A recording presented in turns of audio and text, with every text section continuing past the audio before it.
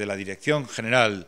de Industrias Culturales han asumido el liderazgo a la hora de establecer la propuesta de nueva gestión que, encomendada por el Consejo de Ministros a la Fundación de la Escuela de Organización Industrial, asumió desde hace pasadas dos semanas el compromiso, el encargo de eh, planificar las nuevas propuestas de gestión de la Fundación Centro Nacional del Vidrio. En el pasado patronato ya definitivamente eh, dimitió el expresidente, ya no solo como presidente, que lo hizo en el anterior, sino también como patrono, y por lo tanto ya solo quedan las administraciones públicas con la responsabilidad, con la responsabilidad última de enfrentarse a esta nueva etapa. Será uno de los representantes que de las distintas administraciones públicas se determine. De hecho, hay un próximo patronato el miércoles que viene, porque hay una,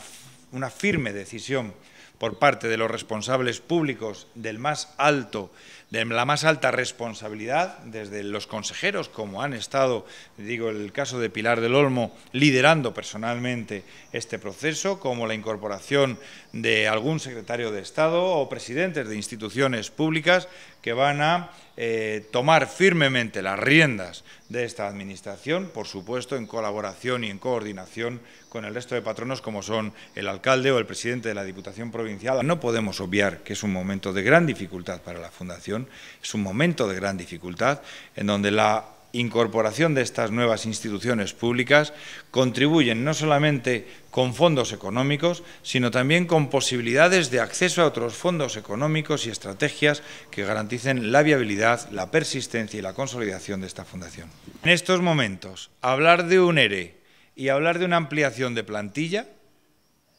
no es lo que toca. Es decir, no corresponde en estos momentos hablar de prescindir de ningún trabajador ni de pensar en incrementar la plantilla.